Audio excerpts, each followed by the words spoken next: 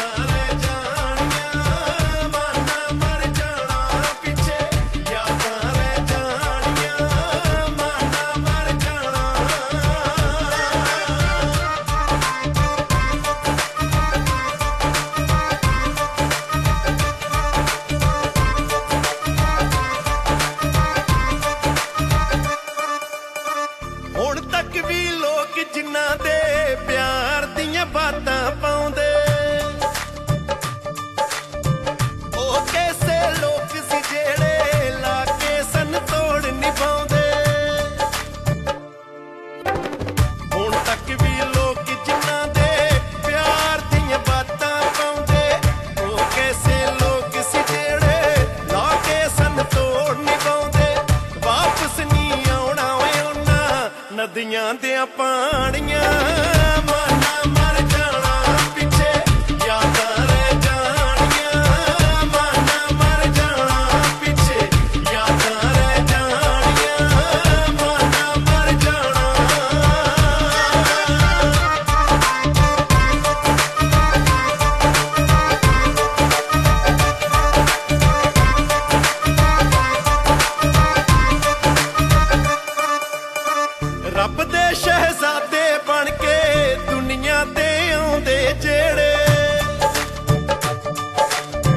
ਜ਼ਿੰਦਗੀ ਦੇ ਆਸ਼ਿਕ ਬਣ ਕੇ ਜ਼ਿੰਦਗੀ ਨੂੰ ਜਿਉਂਦੇ ਜਿਹੜੇ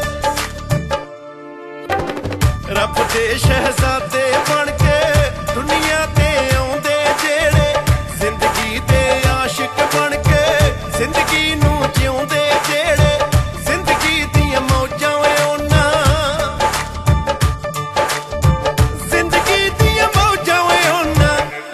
ਰੱਜ ਕੇ ਮਾਣੀਆਂ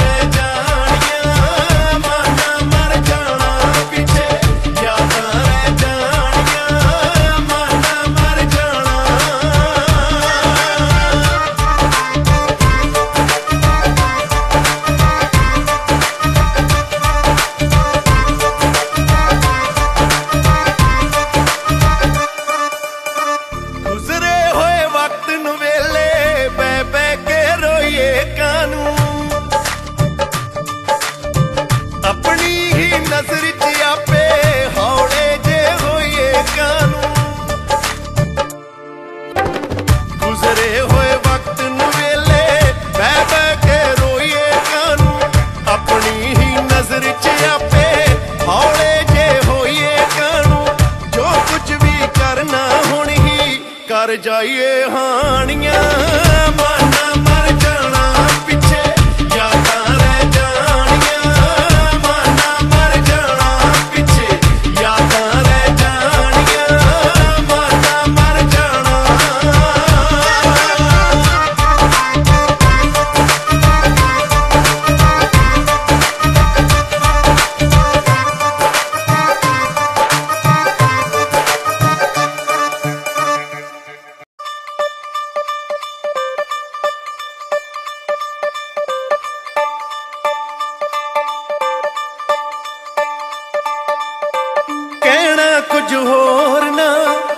ਅੱਖੀਆਂ ਤੇ ਜ਼ੋਰ ਨਾ ਕਹਿਣਾ ਕੁਝ ਹੋਰ ਨਾ ਲਿਖੀਆਂ ਤੇ ਜ਼ੋਰ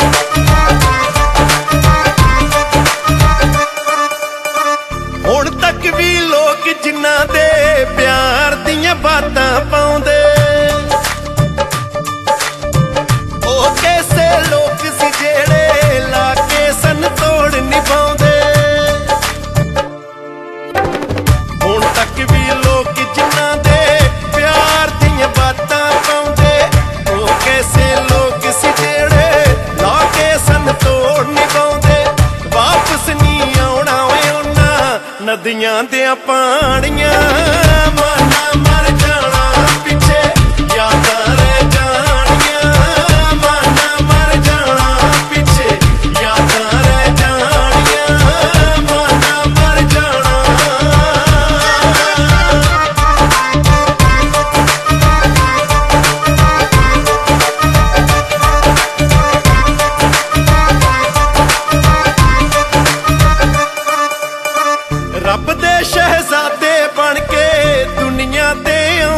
ਜਿਹੜੇ